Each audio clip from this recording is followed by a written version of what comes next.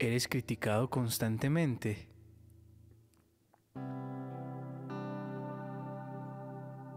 Hay algo muy curioso. Nosotros los seres humanos constantemente nos estamos comparando. Desde pequeños nos comparamos por el color de la piel, por el color del cabello, por el color de los ojos. Cuando vemos algo diferente, desde pequeñitos, usted ve a los niños, eh, los niños son imprudentes eh, con las cosas físicas. Y cuando a nuestros ojos saltan tan evidentes las diferencias, tenemos que expresar nuestra opinión al respecto. Y cuando expresamos nuestra opinión al respecto, por lo general, damos una crítica. La crítica es común y está en nuestra vida siempre. ¿Vamos a ser criticados? Claro que sí. Ahora, considero yo, existen eh, diferentes críticas. Y nos hablan de críticas constructivas y de críticas destructivas. Como lo dice la palabra, las críticas destructivas son las críticas, las opiniones que lanzamos con el fin de herir a una persona y de destruir lo que ya es. A veces es consciente, lastimosamente sí. A veces hay personas que lo hacen conscientemente. Y otras veces es inconsciente. ¿Por qué? Por temas de imprudencia, porque hay personas que no tienen filtro para decir las cosas, eh, por la misma juventud que tenemos, por tantas cosas. Y también están las críticas constructivas, que son estas críticas, estas opiniones que se dan con el fin de que la persona crezca, con el fin de que la persona mejore en algún aspecto de su vida. Y es valioso, pero créame, no todos estamos dispuestos a recibir una crítica. Así sea una crítica, una crítica constructiva, también hay días donde no estamos, donde no tenemos la disposición para que alguien venga a opinar sobre nosotros.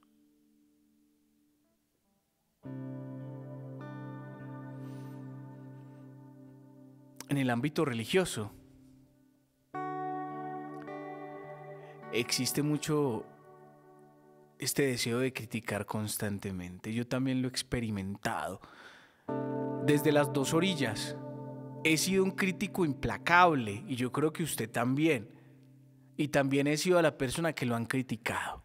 Por todo y por nada. Por qué hagas y por qué no hagas. Por qué digas o por qué no digas. Siempre te van a criticar. Y hay críticas que esto hay que identificarlo bien porque tenemos que ser, como dice la palabra de Dios, dóciles como palomas, pero astutos como serpientes. Hay que identificar cuando una, entre comillas, corrección fraterna se convierte en una crítica destructiva. Porque nos molesta el otro. Porque lo que resalta a la vista del otro en nuestros ojos que nos molesta, muchas veces es lo que queremos cambiar en nosotros y no somos capaces. No somos capaces. ¿Te sorprende que te critiquen? Pues déjame decirte una cosa. Criticaron al Señor Jesús constantemente. Algunos le dieron críticas constructivas, otras en su gran mayoría fueron destructivas. Lo criticaban por comer con publicanos, con cobradores de impuestos. Lo criticaban por andar con prostitutas. Lo criticaban por todo. Porque los apóstoles comían. Por, lo criticaban porque comía y bebía con ellos. Lo criticaban porque se dejaba tocar los pies de una mujer eh, prostituta. Por todo lo criticaban. Lo criticaban porque hizo un milagro en día sábado. Por hacer el bien a los demás lo criticaron constantemente. Y si a Jesús lo criticaban, a ti te van a criticar, con más razón. Yo creo que pocas cosas negativas podían decir de Jesús. A ver, Él es Dios. Y Él vino al mundo a hacer el bien y a destruir las obras del enemigo, a sanar a los enfermos, a liberar a los cautivos, a destruir las obras del enemigo. Y aún así lo criticaron. Y las mismas personas que alguna vez, entre tantos relatos, querían llevárselo para hacerlo rey, las mismas personas que lo recibieron entre aplausos,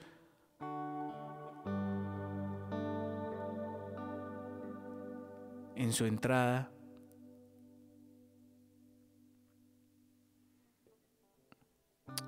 después pidieron para él la muerte y la crucifixión. Todo esto para decirte que, que las críticas no deben robarte la tranquilidad, que las críticas no deben quitarte el sueño, que debes asumir que las otras personas van a hablar. Y si te llegan muchas críticas, recuerda que el árbol al que más piedras le tiran es el árbol que más frutos tienes. Así que perfectamente te podrías sentir halagado al respecto. Pero Jesús es nuestro modelo a seguir. Es nuestro maestro. Y si con Él hicieron eso, a nosotros nos puede esperar algo parecido. Y lo que hay que hacer es seguir el ejemplo de Él. Perdonar porque muchas veces no sabemos lo que hacen, lo que hacemos, no sabemos lo que hacemos y asimismo no saben lo que nos hacen. Pasar la página entregar el corazón a Dios. Cierra tus ojos un instante y oremos juntos. Señor Jesús, hoy yo tengo claro que las críticas siempre van a ser parte de mi vida. Que desde mi lugar más seguro, que desde mi primer lugar de de interacción que es mi familia, voy a recibir críticas. Que, que, estas críticas pueden tener el objetivo de destruirme o que también estas críticas pueden tener el objetivo de hacerme mejor. A veces de una forma consciente, otras veces de una forma inconsciente, pero las críticas siempre van a estar allí. Y en diferentes momentos de mi vida. Lo importante que hoy comprendo, Señor, es qué hago yo con esas críticas. ¿Por qué filtros paso estas críticas, Señor? Teniendo claro cuáles son mis objetivos, teniendo claro cuáles son mis metas, Señor. Quiero pasar estos estas críticas por esos filtros para que me ayuden a llegar a esa meta, a ese objetivo, para que me enseñen a ser más como tú. Hoy, otro día más, abro mi corazón para aprender de ti, que eres manso y humilde de corazón, para recibir con docilidad las correcciones, para recibir con docilidad las críticas constructivas y trabajar en pos tuyo para crecer para ti, para glorificarte.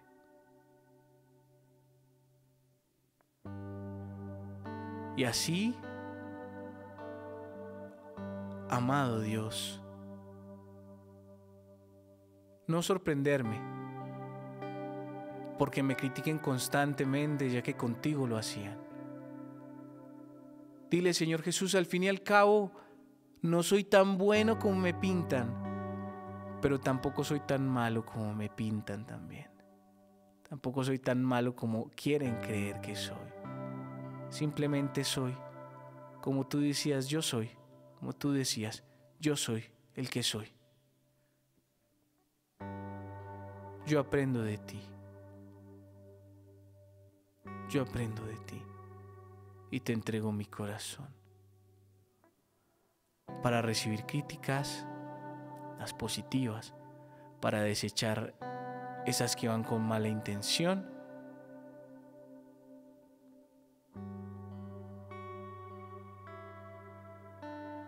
Y para no sorprenderme cuando lleguen. Porque si te criticaron a ti que eres perfecto, ¿qué puedo esperar que hagan conmigo? Gracias Señor por traer paz, por traer tranquilidad, por tocar mi corazón.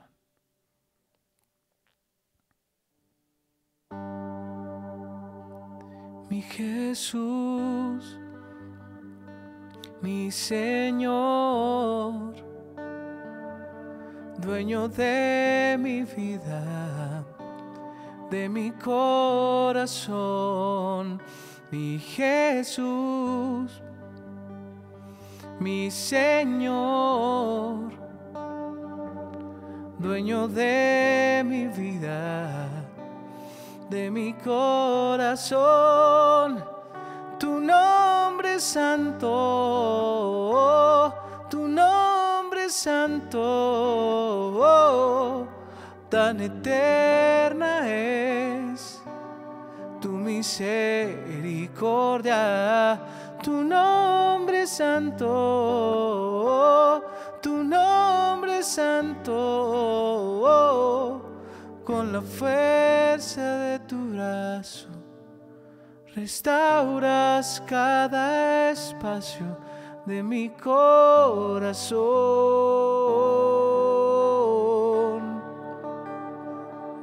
de mi corazón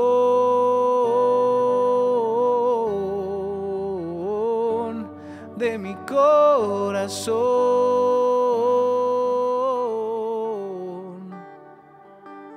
Con la fuerza de tu brazo, restauras cada espacio de mi corazón. Gracias Señor por lo que nos enseñas. Gracias Señor por tocarnos el corazón.